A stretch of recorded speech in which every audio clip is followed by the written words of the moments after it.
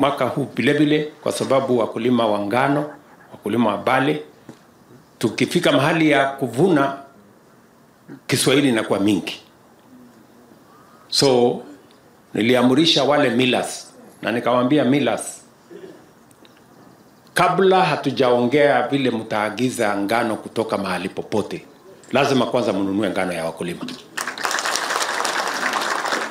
Na nimemwambia hawa leseni ya kupatiwa ile utaagiza kutoka sehemu ingine ni ile receipt umelipa wakulima wa Kenya kwa kununua mazao yao. Kabla hatujatoa leseni yoyote ya kuagiza ngano bale kutoka dunia ingine, mpaka tuwe tumenunua bale na ngano ya wakulima wetu wa Kenya na imeisha. Saa hizi tunavuna mahindi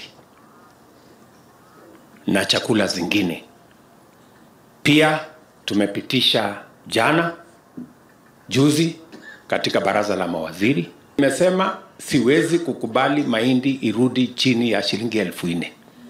Ikitaka kurudi chini ya hapo, mimi nitaongeza pesa ninunue zile ambayo imebaki.